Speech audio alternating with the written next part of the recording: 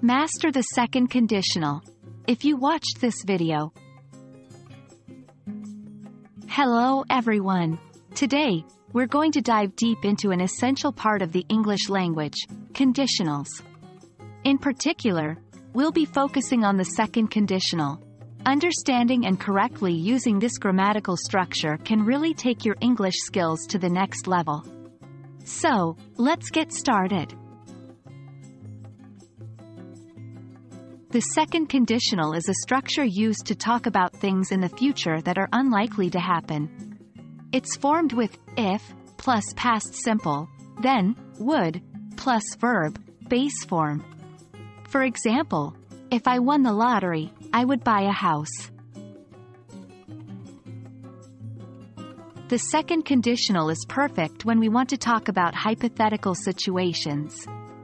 These are events that haven't happened yet, and they might never happen, but they're still fun or interesting to think about.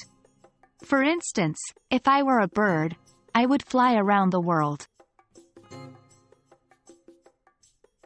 A common mistake is not using the past tense after if.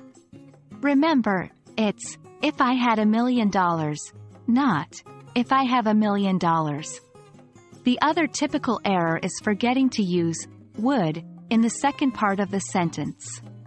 It's, I would travel around the world, not, I travel around the world. Now that we understand the basics, let's dive into some examples and exercises to reinforce what we've learned. 1. Examples. 2. If I knew his address, I would send him an invitation. 3. If I were rich, I would live on a tropical island. 4. Exercises. 5. Complete the sentence.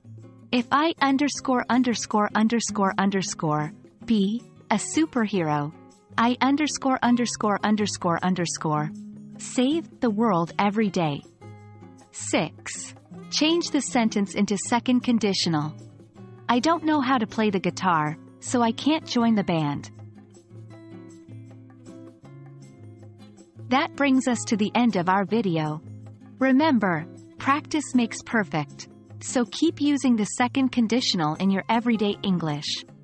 You'll soon find it becomes second nature. I hope this video was helpful and made the second conditional a bit clearer for you.